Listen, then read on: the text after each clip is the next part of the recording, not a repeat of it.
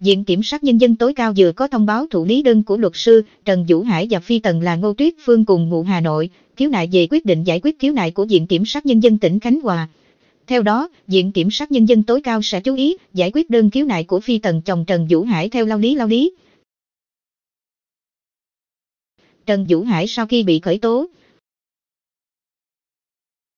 Trước đó, Phi Tần chồng Trần Vũ Hải có đơn khiếu nại gửi đến Viện Kiểm sát Nhân dân tỉnh Khánh Hòa, đề nghị hủy các quyết định khởi tố bị can của cơ quan cảnh sát điều tra công an tỉnh Khánh Hòa đối với hai người này. Tuy nhiên, Viện Kiểm sát Nhân dân tỉnh Khánh Hòa đã bác đơn khiếu nại của Phi Tần chồng Hải, sau đó ban hành cáo trạng truy tố, chuyển hồ sơ cho Tòa án Nhân dân thành phố Nha Trang xét xử Phi Tần chồng Hải cùng hai người khác về tội trốn thuế. Thông báo thủ lý đơn khiếu nại của Viện Kiểm sát Nhân dân tối cao. Nguồn tin của Bô cho hay hiện dự án đang giai đoạn sẵn sàng đưa ra xét xử.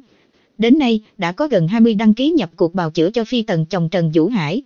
Mới đây, các đã gửi đơn kiến nghị Bộ Công an cùng các cơ quan tố tụng khác chú ý lại việc khởi tố, điều tra, truy tố đối với các bị can trong vụ án hình sự trốn thuế mà Tòa án Nhân dân thành phố Nha Trang đã thụ lý xét xử sơ thẩm.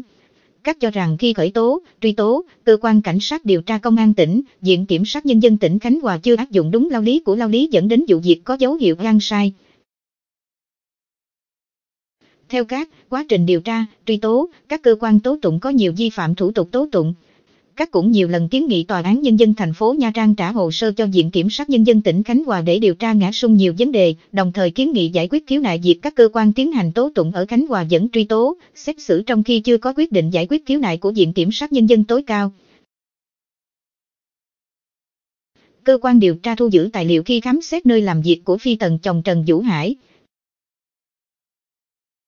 như Bô đã thông tin, ngày 10 tháng 10, Viện Kiểm sát Nhân dân tỉnh Khánh Hòa ban hành cáo trạng truy tố ra trước Tòa án Nhân dân thành phố Nha Trang để xét xử đối với 4 bị can cùng tội trốn thuế. 4 bị can gồm Nguyễn Thị Ngọc Hạnh 47 tuổi, có quốc tịch Việt Nam và Na Uy, chủ doanh nghiệp tư nhân Hạnh Xuân tại thành phố Nha Trang, Khánh Hòa, Ngô Văn Lắm 37 tuổi, ngụ phường Ngọc Hiệp, thành phố Nha Trang, em cùng mẹ khác thân phụ với bà Hạnh, Trần Vũ Hải và Phi Tần là Ngô Tuyết Phương. Cả bốn bị can này đều bị truy tố theo khoảng 1 điều 161 Bộ luật hình sự năm 1999.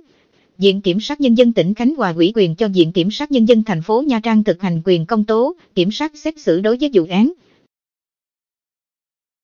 Viện Kiểm sát Nhân dân tỉnh Khánh Hòa kết luận, trong quá trình giao dịch, chuyển nhượng ngôi nhà cùng đất tại số 78 chi 40 tuổi tỉnh, thành phố Nha Trang, bốn bị can trên đã có hành vi trốn thuế thu nhập cá nhân hơn 280 triệu đồng.